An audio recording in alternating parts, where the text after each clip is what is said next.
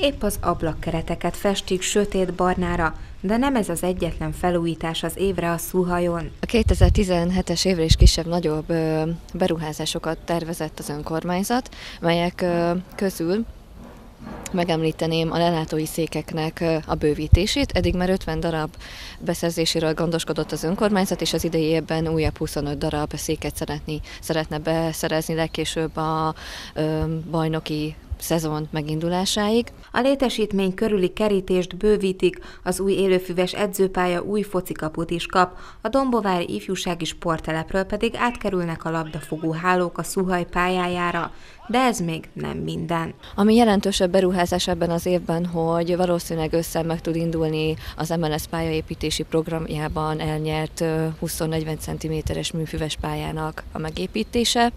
Március 15-éig elkészül az edzőpálya világítása, valamint március 1-től, ha az idő is engedi, akkor megkezdődnek a rekordtán futópálya építési munkálatai, aminek a tervezett befejezési dátuma május 31. A büfé is megújul, új víz- és szennyvízelvezető rendszert alakítanak ki, fejlesztik a villamos hálózatot is. Az egykori sportbüfé helyén pedig egy társalgót alakít ki az önkormányzat, ahol a festési munkálatok, a lapozás is megkezdődött, és mindent, amit lehet, azt az önkormányzat a közfoglalkoztatottak segítségével igyekszik megvalósítani. Április elején a Városhete rendezvénysorozat keretében pedig szeretnék felavatni a létesítményben a sportemlékhelyet.